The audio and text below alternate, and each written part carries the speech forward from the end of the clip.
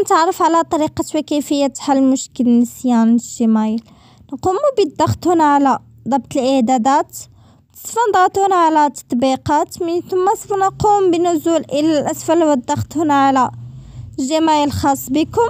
سوف نضغط هنا على إيقاف الإجباري من ثم سوف نقوم بالضغط هنا على الموافقة. سوف نضغط هنا على مكان التخزين من ثم سوف نقوم بالضغط هنا على مسح التخزين المؤقت. بدأ سوف نقوم بإيقاف إعادة تشغيل واي فاي خاص بكم. وبعدها سوف نقوم بالذهاب إلى متجر جوجل. وهنا سوف نقوم بالبحث عن جيميل خاص بكم. سوف يظهر على هذا الشكل.